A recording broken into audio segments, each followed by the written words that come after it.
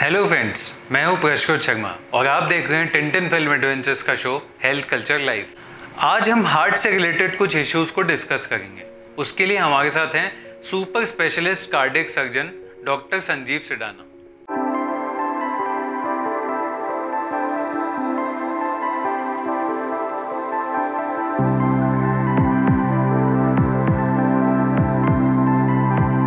Fractional flow reserve किसे कहते हैं? कभी कभी हम जब एंजियोग्राफी करते हैं तो पेशेंट्स की आर्टरीज में बॉर्डर लाइन ब्लॉकेज आता है। तो जब भी बॉर्डर लाइन ब्लॉकेज होता है, जैसे 60 से 70 परसेंट ब्लॉकेज हो गया तो हमेशा ये कन्फ्यूज़न रहता है इस पेशेंट को आगे दवाइयों की ज़रूरत है या आगे एंजियोप्लास्टी करनी पड़ेगी।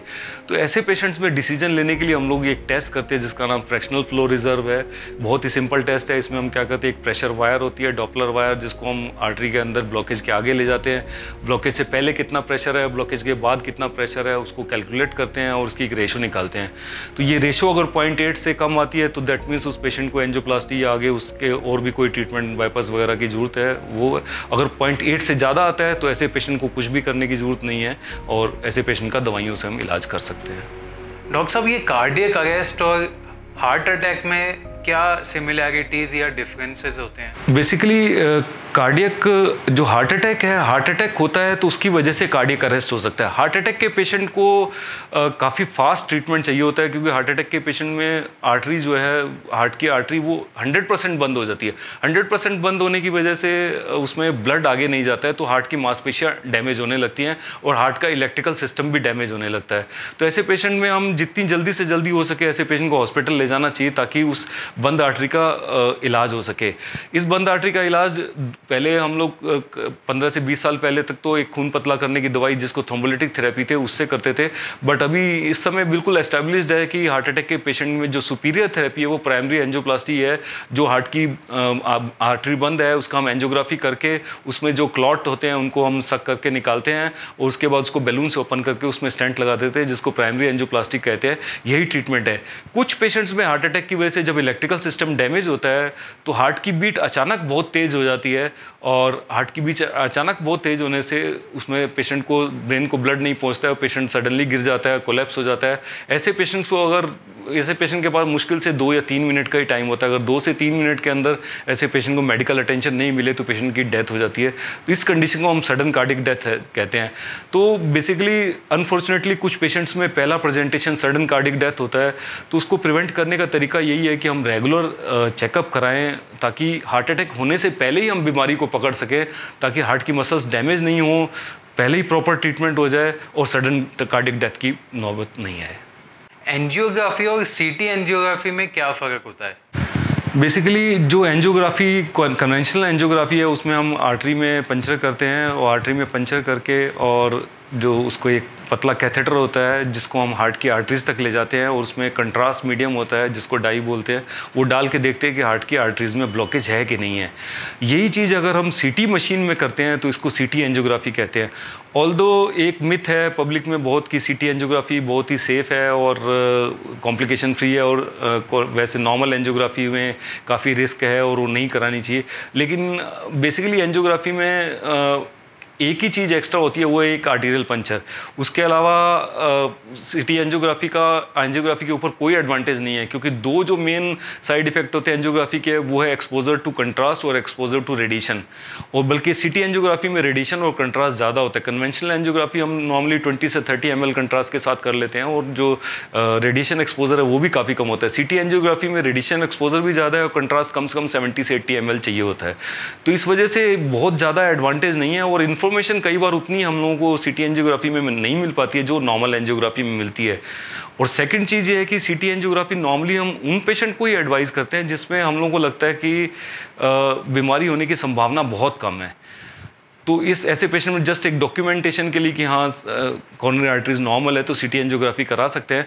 लेकिन कोई भी ऐसा पेशेंट जिसमें डिज़ीज़ निकलने की प्रोबेबिलिटी काफ़ी ज़्यादा है और या फिर पेशेंट को सडन ऑन सिम्टम है रिसेंट सिम्टम है ऐसे पेशेंट्स को में सिटी एंजियोग्राफी का कोई एडवांटेज नहीं है ऐसे पेशेंट को नॉर्मल एंजियोग्राफी ही करानी चाहिए। उसमें ज़्यादा इन्फॉर्मेशन भी मिलती है और अगर ऑप्शन होता है पॉसिबिलिटी होती है तो साथ के साथ हम ट्रीटमेंट भी कर सकते हैं और टाइम वेस्ट कम होता है। ये डिफ्रेंशिएट कैसे होता है कि एंजियोग्राफी होगी या बाईपास होगी?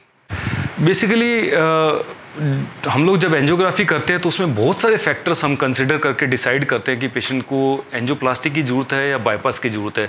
कन्वेंशनली अगर हम बात करें, आज से 15-20 साल पहले की बात करें, जब टेक्नोलॉजी उतनी एडवांस नहीं थी तो नॉर्मली ऐसे पेशेंट में जब, या फिर स्टेंट उस समय बहुत महँगे थे तो उस समय हम पेशेंट में जिनमें भी तीन आर्टरी में ब्लॉकेज निकलता था ऐसे पेशेंट्स को ज़्यादातर बाईपास सर्जरी की सलाह देते थे, या लेफ़्ट मेन जो मेन आर्टरी है, उसमें ब्लॉकेज निकलता तो ऐसे पेशेंट को बाईपास सर्जरी की सलाह देते थे।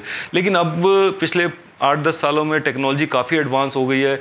अगर तीनों आर्टरी में भी ब्लॉकेज है लेफ़्ट मेन आर्टरी में भी ब्लॉकेज है, वो ब्लॉकेज ज़्यादा लंबे नहीं हैं और जिनमें इजीली एंजियोप्लास्टी हो सकते हैं तो ऐसे पेशेंट को फ़र्स्ट ऑप्शन हमेशा एंजियोप्लास्टी का ही हम देते हैं। फ़र्स्ट ऑप्शन बाईपास का उन्हीं पेशेंट को देते हैं जिसमें एंजियोप्लास्टी पॉसिबल नहीं है। ऑल दो चूँकि दस से पंद्रह परसेंट चांस होते हैं कि दोबारा ब्लॉकेज हो सकता है, और ऐसे पेशेंट में अगर दोबारा ब्लॉकेज होता है तो एक बाईपास का ऑप्शन हमारे पास सेफ़ रहता है। अगर पैसे पहले ही हम उस ऑप्शन को यूज़ कर लेंगे तो फिर सेकंड ऑप्शन हमारे पास कोई नहीं बचेगा। तो ऐसे पेशेंट बेसिकली डॉक्टर बहुत सारे फैक्टर्स के हिसाब से डिसाइड करते हैं, जिनमें लेंथ ऑफ़ लीजन है सिंटेक्स स्कोरिंग भी हम लोग कैलकुलेट करते हैं, जिसमें multiple factor bifurcation lesion calcium score calculate करते हैं लेंथ ऑफ़ लीजन कैलकुलेट करते हैं, इन सारी चीज़ों के बेसिस पे हम डिसाइड करते हैं बट तीनों आर्टरी में ब्लॉकेज होना एक इंडिकेशन नहीं है कि ऐसे पेशेंट को बाईपास सर्जरी की ज़रूरत पड़ती है। जैसा कि नॉर्मली पब्लिक में ऐसा मिथ है कि तीनों आर्टरी में ब्लॉकेज निकला तो बाईपास सर्जरी ही करानी पड़ेगी। ऐसा नहीं है संभव। आजकल तीनों आर्टरी में जो ब्लॉकेज होता है, ऐसे पेशेंट की भी हम लोग एंजियोप्लास्टी ईजिली और सक्सेसफुली करते हैं और उनका अच्छा फॉलो फॉलोअप रहता है और अगर बहुत ज़्यादा लॉन्ग लीजन्स हैं lesion length more than 40 millimetre mm है 50 मिलीमीटर mm है तो ऐसे पेशेंट्स को बाईपास से ज़्यादा फ़ायदा मिलता है। एनजियोग्राफी और बाईपास सर्जरी की क्या लाइफ होती है या क्या रिकरेंस होती है? देखिए, एक चीज़ मैं इसमें सबसे पहले ये बताना चाहता हूँ कि हार्ट की बीमारी का, हार्ट की बीमारी चूँकि डिजनरेटिव डिज़ीज़ है बॉडी में एज के साथ प्रोड्यूस होती है तो इसका कोई वन टाइम ट्रीटमेंट नहीं है। ऐसा नहीं कह सकते कि आज हमने एंजियोप्लास्टी कर दी तो दोबारा कोई प्रॉब्लम नहीं होगी, या आज हमने बाईपास कर दिया तो दोबारा कोई प्रॉब्लम नहीं होगी। दोनों ही चीज़ों में दोबारा प्रॉब्लम हो सकती है, इसीलिए हम पेशेंट को रेगुलर फॉलोअप और रेगुलर मेडिकेशन की सलाह देते हैं, ताकि दोबारा डिज़ीज़ हो तो लेट से लेट हो और या फिर ना हो। लेकिन फिर भी ऐसा हम 100 परसेंट कभी एश्योर नहीं कर सकते कि दोबारा प्रॉब्लम नहीं होगी। जब भी हम किसी किसी पेशेंट में स्टेंट लगाते हैं तो दोबारा ब्लॉकेज होने की डेफिनेटली उसमें संभावना रहती है, जो कि 10 से 15 परसेंट होती है। और वो भी कई मल्टीपल फैक्टर्स होते हैं जिन पे हम लोग डिसाइड करते हैं कि पेशेंट को दोबारा रिस्नोसिस होगा कि नहीं होगा। उसमें अगर ब्लॉकेज बहुत लंबा है तो डेफिनेटली दोबारा ब्लॉकेज होने की संभावना क्योंकि ब्लॉकेज लंबा हुआ तो लंबा स्टेंट लगाना पड़ेगा, और जितना लंबा स्टेंट लगाते हैं, उतना दोबारा ब्लॉकेज होने की संभावना ज़्यादा रहती है। अगर वेसल की जो डायमीटर है, वो बहुत कम है, खास करके स्पेशली जो कॉर्नरी आर्टरी जिनका डायमीटर तीन मिलीमीटर से कम होता है, ऐसे पेशेंट में दोबारा ब्लॉकेज होने की संभावना ज़्यादा होती है। और जिन पेशेंट में मल्टीपल स्टेंट यूज़ करते हैं, या फिर पेशेंट को डायबिटीज़ होती है किडनी की डिज़ीज़ होती है, या फिर ऐसे पेशेंट जिनको बीमारी बहुत यंग एज में हो जाती है, ऐसे पेशेंट में दोबारा ब्लॉकेज होने की संभावना ज़्यादा रहती है। लेकिन फिर भी ओवरऑल अगर हम कैलकुलेट करें, आजकल अगर लेटेस्ट जो थर्ड जनरेशन स्टैंड्स हम यूज़ करते हैं तो उनमें कुल मिलाकर के जो ब्लॉकेज की संभावना है, वो दस से दस परसेंट के आसपास होती है। और ये भी जो ब्लॉकेज होना होता है, वो normally initial one two two years में हो जाता है। अगर एक बार वन टू टू ईयर में ब्लॉकेज नहीं होता है तो आगे दोबारा ब्लॉकेज होने की संभावना नहीं रहती है। बाकी, लेकिन और भी कॉर्नरी आर्टरीज में दोबारा ब्लॉकेज हो सकता है। इसलिए रेगुलर फॉलोअप रेगुलर ट्रीटमेंट बहुत ज़रूरी है। सेकेंड चीज़ बाईपास की तो बाईपास बाईपास की जहाँ तक बात करें तो बाईपास में इनिशियल फ़ेज़ में जो फेलियर रेट होता है, वो फाइव परसेंट के आसपास ग्राफ्ट फेलियर रेट होता है। और जो एक मेन जो आर्टरी में ग्राफ्ट लगाते हैं, वो हम आर्टीरियल ग्राफ्ट लगाते हैं, उसका फेलियर रेट कम होता है। इस वजह से नॉर्मली पेशेंट लंबे समय तक एसिम्टोमेटिक रहते हैं, लेकिन ऐसे पेशेंट का जब भी हम आठ से दस साल बाद दोबारा एंजियोग्राफी करते हैं तो वीनस ग्राफ्ट ज़्यादातर ब्लॉक मिलते हैं और आर्टीरियल ग्राफ्ट में भी कुछ ना कुछ डिज़ीज़ होती है। तो इसलिए ऐसा हम लोग कोई भी ट्रीटमेंट करके हम ये नहीं कह सकते कि दोबारा प्रॉब्लम नहीं होगी। दोबारा प्रॉब्लम डेफिनेटली हो सकती है इसलिए रेगुलर फॉलोअप में रहें और रेगुलर ट्रीटमेंट लें। रिपीट बाईपास सर्जरी कब हो सकती है? रिपीट बाईपास सर्जरी कर सकते हैं लेकिन जैसा मैंने अभी पहले भी बताया था कि हम लोग फ़र्स्ट चॉइस में अगर एंजियोप्लास्टी फिजिबल होती है तो पेशेंट को एंजियोप्लास्टी की ही सलाह देते हैं।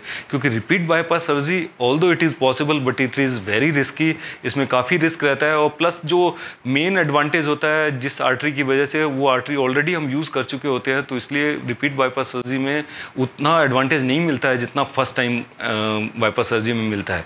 तो इस वजह से रिपीट अगर एज फार एज पॉसिबल हो तो बाईपास के बाद भी अगर पेशेंट को दोबारा प्रॉब्लम होती है तो हम एंजियोप्लास्टी की ही सलाह देते हैं। और नॉर्मल नॉर्मली फ़र्स्ट टाइम अगर प्रेजेंट करता है पेशेंट और एंजियोप्लास्टी फिजिबल है तो हम बाईपास की सलाह नहीं देते हैं, ताकि एक फ्यूचर में ऑप्शन रहे, कभी दोबारा प्रॉब्लम हो तो हम बाईपास करा सके रिपीट बाईपास में काफ़ी रिस्क रहता है, इसलिए ज़्यादातर पेशेंट में रिपीट बाईपास पॉसिबल नहीं होती है।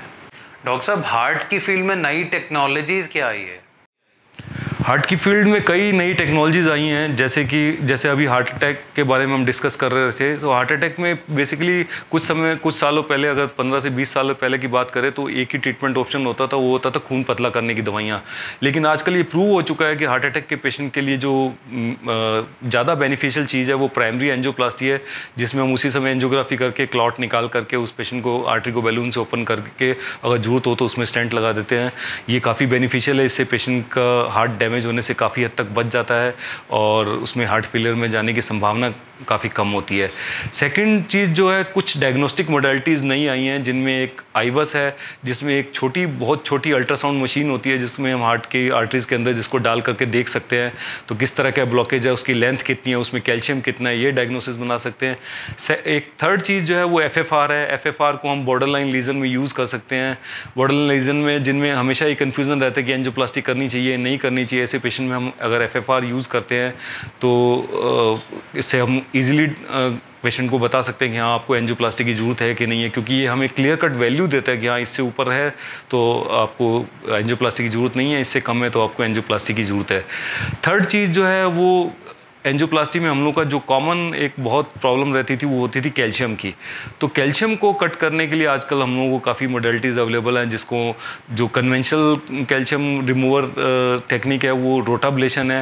रोटाब्लेशन में एक छोटा बर होता है, जिसको हम आर्टरी के अंदर बहुत तेज़ी से घुमाते हैं, जिसकी वजह से वो कैल्शियम को कट करके निकाल देता है। पिछले कुछ समय से एक नई टेक्निक आई, जिसको आई बोलते हैं इंटरवेस्कुलर लिथोट्रेप्सी इसमें हम बैलून एक ले जाते हैं, उस बैलून को आर्टरी के अंदर पार्क करते हैं और उसमें शॉक वेव्स निकलती हैं। उस शॉक वेव से हम कैल्शियम को कट कर देते हैं और फिर उसके बाद सब्सिक्वेंटली एंजियोप्लास्टी काफ़ी ईजी हो जाती है। कुछ, पिछले कुछ समय से जैसे कि हार्ट के वाल्व की डिज़ीज़ होती थी तो ऐसे पेशेंट का ट्रीटमेंट हमें सर्जरी से ही करना पड़ता था बट आजकल लेटेस्ट टेक्निक से हम लोग बिना सर्जरी के वाल्व को भी रिप्लेस कर सकते हैं, जिसको टावर बोलते हैं ट्रांसक्यूटेनियस वाल्व रिप्लेसमेंट तो ये भी एक बहुत ऐसे पेशेंट के लिए स्पेशली जिनमें सर्जरी पॉसिबल नहीं है बहुत हाई रिस्क सर्जरी है तो ऐसे पेशेंट का हम बिना सर्जरी के भी वाल को चेंज कर सकते हैं। डॉक्टर साहब इंडिया और इंटरनेशनल लेवल पे हार्ट के ट्रीटमेंट में क्या डिफरेंसेस हैं? आजकल चूँकि टेक्नोलॉजी काफ़ी टेक्नोलॉजी का ट्रांसफ़र है वो काफ़ी फास्ट होता है तो इसलिए आज के समय में मैं ऐसा नहीं कहूँगा कि हम वर्ल्ड के किसी भी कंट्री से पीछे हैं। जो भी ट्रीटमेंट वर्ल्ड के किसी भी कंट्री में अवेलेबल है वो हम भी यहाँ पे कर सकते हैं।